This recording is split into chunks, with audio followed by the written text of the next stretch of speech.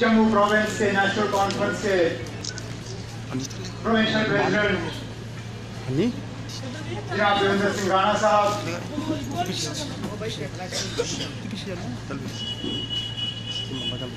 Wing के state president और MLA Shamima Firdaus साहिबा। Jammu ladies women's wing president Satwant Kaur Dogra साहिबा। यहाँ पे स्टेज पे बैठे सीनियर साथी जिसमें से कुछ हमारे दोस्त भी हमारे साथ आए हुए हैं हुए।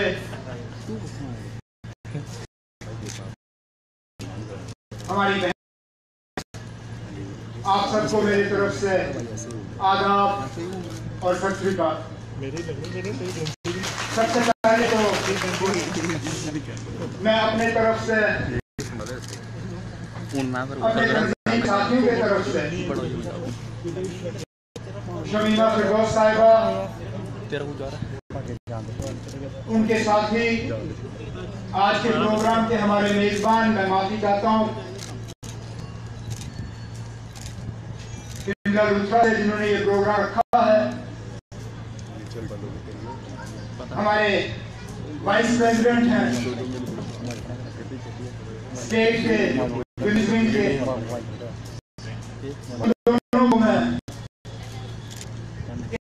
को मैं आने की मुबारकबाद पेश करता हूँ।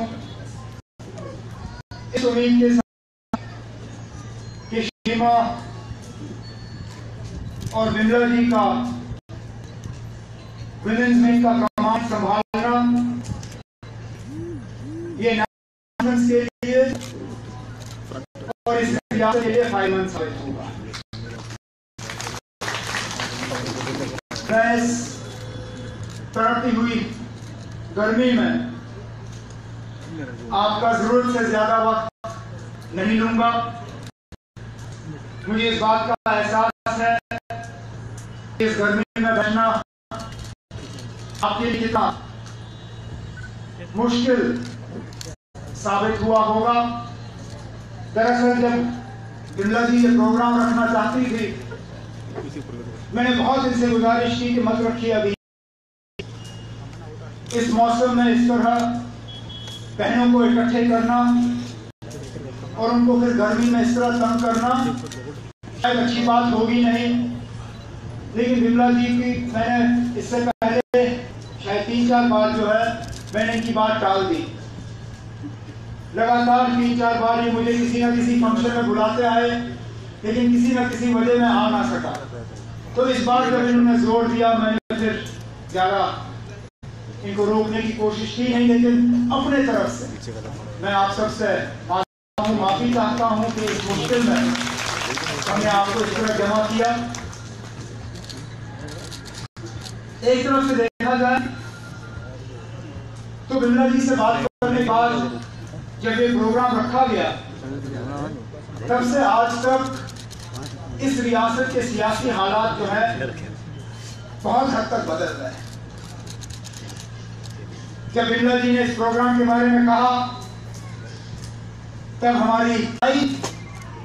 यहाँ तक कि तंजीम के अंदर भी कुछ लोग अपने लीडर के साथ अब आम से आँख मिलाने के लिए तैयार तक नहीं। 2014 के इलेक्शन हुए। नेशनल कॉन्फ्रेंस 15 सीटों पे आई। हम अगर चाहते तो उस वक्त किसी ना किसी तरह हम अपनी एंट्री जो है सेक्रेटेरिएट में कर देते। हम हुकूमत में शामिल होते। लेकिन हमने उस वक्त समझा कि 15 सीटों पे हुकूमत में शामिल होने की हमें इजाज़त लोगों की नहीं है। और इकतदार जो है, ताकत वो नेशनल कॉन्फ्रेंस का मंजिल नहीं है। हमने बार बार कहा है कि हम इलेक्शन लड़ते हैं जीतने के लिए। हम इलेक्शन लड़ते हैं इस रियासत की मुश्किल हल करने के लिए। हम इलेक्शन सिर्फ़ कुर्सी पर बैठने के लिए नहीं लड़ते। अगर हमें सिर्फ़ कुर्सी चाहिए होती तो ना हम 2002 में कुर्सी छोड़ते, जब मुफ्ती मोहम्मद सैयद साहब वज़ीर आला बने, तब हमारे अट्ठाईस थे। सबसे बड़ी पार्टी हमारी थी, लेकिन हमने कहा नहीं। कुर्सी हमारी मंजिल नहीं है। हम उस रास्ते की तरफ़ नहीं गए। इस बार भी अगर हम चाहते 2014 में कांग्रेस के साथ, बीजेपी के साथ किसी न किसी तरह तोड़ फोड़ करके हुकूमत नहीं लेते। लेकिन वो लोगों के फैसले के साथ नाइंसाफी होती। पीडीपी और बीजेपी वाले एक साथ आए। कहा कि ये नॉर्थ पोल और साउथ पोल एक साथ आ गए। जम्मू और कश्मीर को हम अब मिलवाएँगे। को बहनों की आँखों में जो आँसू हैं, उनको पोछने का काम होगा। कश्मीर की गई, अब आपको बुराइयाँ नज़र आती हैं। अब आपको लगता है कि जम्मू के साथ भेदभाव हुआ। अब आपको लगता है कि लद्दाख के साथ भेदभाव हुआ। खुदारा मुझे बताइए इन तीन सालों में फिर अगर जम्मू के साथ आपको ये भेदभाव नज़र आ रहा था आप खामोश क्यों थे या तो उस वक्त आपकी खामोशी गलत थी, या आज आप लोगों को झूठ सुना रहे हैं। इन दोनों में से एक ही सही, एक ही बात सही है। या तो लगातार तीन साल जम्मू के साथ भेदभाव हुआ। अगर हुआ तो ये लोग जो कल तक मिनिस्टर थे, जो डिप्टी चीफ मिनिस्टर थे, जो स्पीकर थे, उनकी खामोशी क्यों? क्या कुर्सी की लालच ने उनको खामोश किया? क्या कुर्सी के लिए जम्मू के लोगों को कुर्बान कर गए? ये दूसरी बात है कि जो कश्मीर के हालात है, उससे लगता है कि कश्मीर को मौजूदा हुकूमत ने इंसाफ नहीं दिया। ना जम्मू को इंसाफ मिला, ना कश्मीर को इंसाफ मिला, ना करगिल को, ना लद्दाख को। क्योंकि ये थे इनको काम करना आया नहीं। जितनी नाराज़गी आज जम्मू में है, उससे ज़्यादा नाराज़गी शायद इस हुकूमत को लेकर कश्मीर में है। नहीं तो मुझे बताइए, जिस तंजीम को पिछले इलेक्शन में अट्ठाईस में मिली, अगर रातों रात उनकी हुकूमत चली गई इस तरह, अगर दिल्ली ने उनके साथ साजिश की लोगों की सड़क क्यों नज़र आती कश्मीर के लोग आज गवर्नर रूल के खिलाफ एहतजाज क्यों नहीं कर रहे? हैं? क्यों नहीं कहते कि हमारी चुनी हुई लीडर महबूबा मुफ्ती के साथ धोखा हुआ?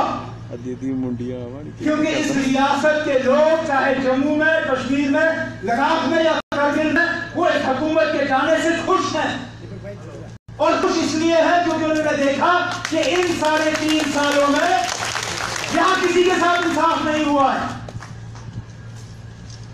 यहाँ बॉर्डर के लोगों के साथ इंसाफ नहीं हुआ। लगातार जिन लोगों को शेलिंग का नुकसान भुगतना पड़ा, जिनकी फ़सलें तबाह हुई, जिनका माल मवेशी उनसे छीना गया, जिनके बच्चे स्कूल नहीं जा सके, जिनके मरीज़ अस्पताल नहीं पहुँच सके, जो अपने कारोबार या अपने काम पे नहीं पहुँच सके, उन लोगों का क्या हुआ? जो हमारे किसान भाई हैं, जिनको अपनी पैदावार की कीमत जब मिलती नहीं, जो आज कर्जे में डूबे हुए हैं, क्या वो किसान इस हुकूमत से खुश होंगे? हमारी माए बहनें, जो आज महँगाई के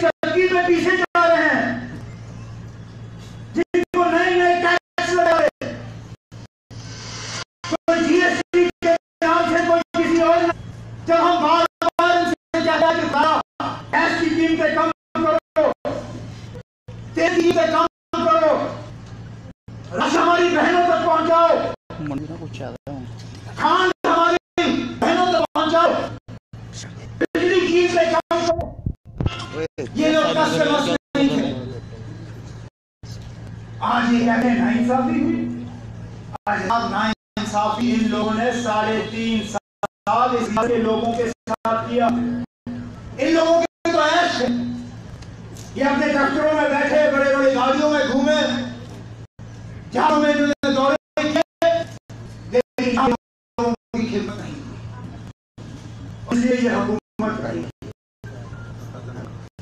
आज ये एक दूसरे के ऊपर उंगली उठाते हैं। बीजेपी वाले कहते हैं कि पीडीपी वाले गलत है। महबूबा मुफ्ती जो मोदी साहब तारीफ़ करना बंद नहीं करती थी। कहती थी इससे पहले कोई वज़ीर आला आया वज़ीर आज़म आया नहीं, जिसने जम्मू कश्मीर लोगों को समझा। मैं था उस वक्त, जब तारीफ़ पे तारीफ़ हुई। आज वो कहते हैं, आपको अपने छप्पन इंच से एक इंच कश्मीर के रखना चाहिए। काश महबूबा जी आप ये तकलीफ़ की होती जब मोदी साहब हमारी सरजमीन पे थे। तब अरे यहाँ मोदी साहब को गए हुए चंद हफ़्ते ही हुए। वो लद्दाख भी आए, वहाँ पे भी तकरीर हुई। वो कश्मीर भी आए, वहाँ पे भी तकरीर हुई। वो जम्मू आए, जम्मू में तकरीर हुई। महबूबा जी, आपने एक बार भी मोदी साहब से कहा कि छप्पन इंच की छाती में से यहाँ के लोगों को एक इंच दो। आज कहा याद आया आपको? उस वक्त तो जब आप बार बार मोदी साहब से मिलती थी, आप बाहर आके जाती थी, मैं मुतमैन हूँ। मुझे वो सब कुछ मिला जो मैं मांगने गई।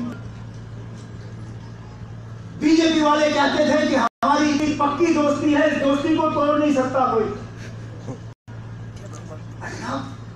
इन लोगों को क्या लगता है यहाँ के आवाम यहाँ के लोग इतने बेवकूफ़ हैं? मज़ाक है गया अरे मार्च में ही तो असेंबली का सेशन लगा था। हम में से कई सारे ऐसे हैं जो उस वक्त असेंबली में थे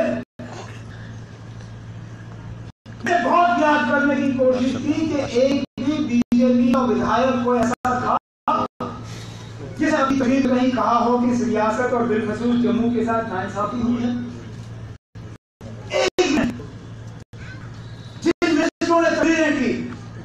उनमें से एक मिनिस्टर ऐसा नहीं जिसे महबूबा मुफ्ती की तारीफ़ नहीं हुई।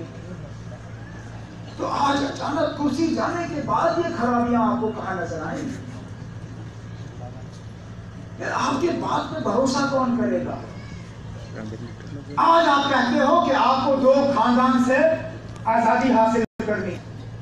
मेरे खानदान का ज़िक्र होता है। और इस खुशी को हासिल करने के लिए करने के लिए नहीं करे तो चाहे वो मजहबी फसाद हो चाहे वो इलाकाई फसाद हो चाहे वो पड़ोसी से लड़ाने की बात हो चाहे वो भाई को भाई से लड़वाने की या बेटे को बाप से लड़वाने की बात हो, क्योंकि इनको और कुछ नहीं चाहिए। ये कहते किसी ना किसी तरह हम वो ताकत हासिल करें, वो कुर्सी हासिल करें, उसके बाद लोग जहाँ भी जाए, उनको और इन चीज़ों से हमें बचना होगा। इसलिए हमने नेशनल कॉन्फ्रेंस में वो तब्दीलियाँ लाई हमने कुछ लोगों के अहदे बदल दिए। हमने कोशिश की कि इस तंजीम में एक नई जान आ जाए। हम हर इलाके तक तो पहुँचे हमारी तैयारी इलेक्शन तैयारी नहीं है। इलेक्शन हम लड़ेंगे, जब होंगे। लेकिन सच्चाई ये है कि जम्मू में बेशक इलेक्शन के लिए माहौल ठीक होगा। लेकिन कश्मीर में इन दिनों माहौल बहुत ज़्यादा खराब है। मैं तो बार बार गवर्नर साहब से गुजारिश करता हूँ। मैं कहता हूँ, ना, हमें ज़्यादा आपसे कुछ नहीं चाहिए। आप रियासत को उन्हीं हालात पर वापस करिए जिन